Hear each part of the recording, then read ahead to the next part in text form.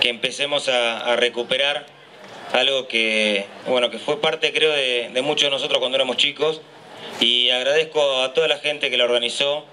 La apoyé desde antes de ser intendente, vamos a seguir apoyando del Estado municipal y todos los años vamos a tratar de, superar las expectativas y realmente generar la fiesta que corresponde. Para eso está toda la parte de turismo apoyando y para eso estamos todos presentes. Creo que tenemos que disfrutar, tenemos que volver a, recuperar lo, que alguna vez fue algo muy grande.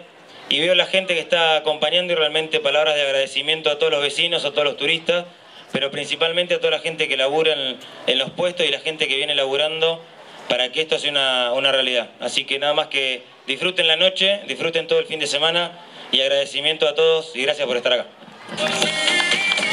Gracias, el intendente.